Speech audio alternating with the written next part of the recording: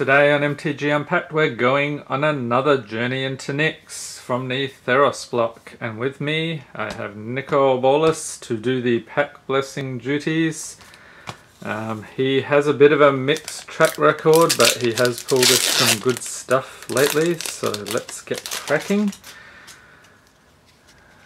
Alright, we get a Pharika's Chosen, Font of Fortunes, Sigiled Skink, Ajani's Presence, Golden Hind, Sigiled Starfish, Starfall, Desecration Plague, Cast into Darkness, Supply Line Cranes, and the uncommon is Hour of Need. And what am I looking at here? Is this a some sort of Sphinx thing? Very strange. Thoughtrender Lamia. Lamia? Lamia? Looks hideous, whatever it is. Blinding Flare and a Temple of Malady is the rare. So this one enters battlefield tapped. When it enters battlefield, scry one. So we get a swamp or forest for this one. Okay, and the plains and a nice Minotaur token.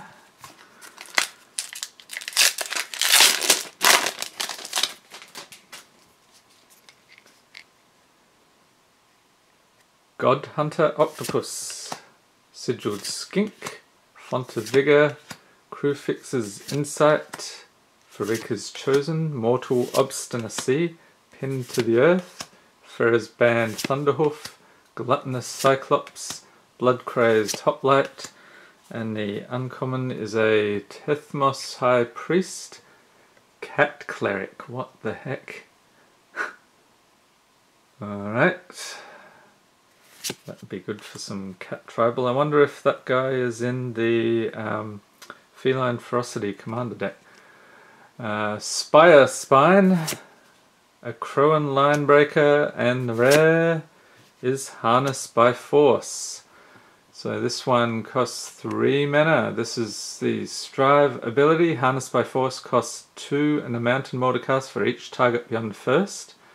You can gain control of any number of target creatures until end of turn.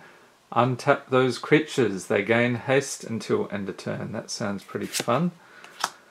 Okay, a swamp. Ooh. Hydra token. Very nice. Alright, last pack. Mr. Bolas, there better be something good in here. Otherwise we might have to reconsider your internship. We get Hubris, Pensive Minotaur, Nature's Panoply, a Mastiff, Nyx Infusion, Cast into Darkness, Desecration Plague, Supply Line Cranes, Rise of Eagles, Satyr Grovedancer, and the uncommon is a Riddle of Lightning,